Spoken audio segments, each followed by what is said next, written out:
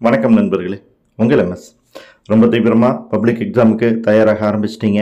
ஏன்னா இன்னும் கொஞ்ச நாள் தான் இருக்குது பப்ளிக் எக்ஸாமுக்கு அதுக்கு முன்னாடி இடையில இன்னொரு மிக முக்கியமான விஷயம் உங்களுக்கு இருக்குது அதுதான் ப்ராக்டிக்கல்ஸ் இன்னும் ரெண்டே ரெண்டு நாட்கள் தான் இருக்குது நாளை மறுநாள் உங்களுக்கு வந்து ப்ராக்டிக்கல் எக்ஸாம் ஆரம்பமாயிடுது.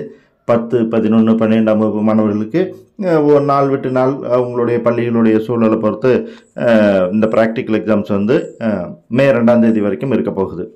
இந்த ப்ராக்டிக்கல் எக்ஸாம்ஸ் வந்து ஈஸியாக இருக்குமா? ஏன்னா நம்ம கண்டிப்பாக படிக்கிறதுல ரொம்ப கான்சென்ட்ரேட் பண்ணிக்கிட்டு இருக்கோம். ப்ராக்டிக்கல்ஸுக்கு ஓரளவுக்கு தான் நம்மளால் கான்சன்ட்ரேட் பண்ண முடிஞ்சிருக்கும். நமக்கு பயமாகவும் இருக்கும். ப்ராக்டிக்கல் நம்ம சார் இல்லாமல் எக்ஸ்டர்னல் வர போகிறாங்க இது வரைக்கும் லேபுக்குள்ளே போயிட்டு வந்து வேறு இனி போகிறது வேறு. இந்த கோவிட் டைமில் நம்ம சில ப்ராக்டிக்கல்ஸ் அட்டன் பண்ணாமல் கூட இருந்திருப்போம். எப்படி பண்ண போகிறோம் அப்படிங்கிற பயமெல்லாம் இருக்கும். கண்டிப்பாக நீங்கள் கவலைப்பட வேண்டிய அவசியம் இல்லை. பெரும்பாலும் பார்த்தீங்கன்னா இந்த ப்ராக்டிக்கல் எக்ஸாம்ஸ் நார்மல் டைமில் நடந்தாலே உங்களுக்கு வந்து ஐம் எத்தனை மார்க் வருமோ அத்தனை மார்க் ஃபுல்லாக போட்டுருவாங்க. இப்போ முப்பது மார்க் இருக்குது அப்படின்னா ப்ளஸ் டூக்கு முப்பதுக்கு முப்பது போட்டுருவாங்க.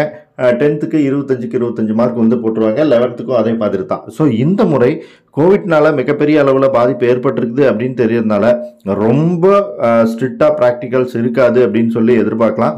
அது மட்டும் இல்லாமல் உங்களுக்கு ப்ராக்டிக்கல்ஸோட எண்ணிக்கையும் குறைச்சிருக்காங்க. அதனால் படிக்கிறதும் கொஞ்சம் ஈஸியாக இருக்கும். எப்படி படிக்கிறது அப்படிங்கிறத பற்றி உங்களுக்கு டீச்சர் சொல்லித்தரதுக்கு நிறையா வாய்ப்பு இருக்குது அவங்ககிட்ட கேட்டுக்குங்க எந்த ப்ராக்டிக்கல்ஸ் எப்படி செய்யணும் எது இதெல்லாம் முக்கியம் எவ்வளோ மார்க்ஸ் எதுக்கு போடுவாங்க அப்படிங்கிறதெல்லாம் இருக்குது வெறுமனே செய்யறதுக்கு மட்டும் மார்க் இல்லை நிறைய விஷயங்களுக்கு இருக்குது ஸோ அதனால் உங்களால் முப்பதுக்கு முப்பதுங்கிறத வந்து ரொம்ப ஈஸியாக ஸ்கோர் பண்ண முடியும். ப்ராக்டிக்கலுக்காக நீங்கள் ரொம்ப பயந்துக்கிட்டு இருக்க வேண்டிய அவசியம் இல்லை.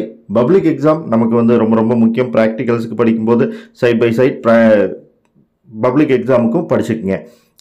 ஸோ ப்ராக்டிக்கலை நீங்கள் ரொம்ப சக்ஸஸ்ஃபுல்லாக முடிப்பீங்க அப்படிங்கிறதுல வந்து எந்த விதமான மாற்று கருத்துக்கும் இடமே இல்லை. நீங்கள் எப்படி ப்ராக்டிக்கலுக்கு தயாராகிட்டீங்களா கமெண்ட்டில் சொல்லுங்கள் அதே மாதிரி பார்த்தீங்க அப்படின்னா உங்களுக்கு எந்த அளவுக்கு டீச்சர்ஸ் ஹெல்ப் பண்ணியிருக்காங்க அப்படிங்கிறதையும் சொல்லுங்கள் இந்த தகவலை உங்கள் ஃப்ரெண்ட்ஸோட ஷேர் பண்ணிக்கங்க. பிடிச்சிருந்தால் லைக் பண்ணி சேனலை சப்ஸ்கிரைப் பண்ணுங்கள் நம்ம மீண்டும் அடுத்த வீடியோவில் சந்திக்கலாம் நண்பர்களே. நன்றி.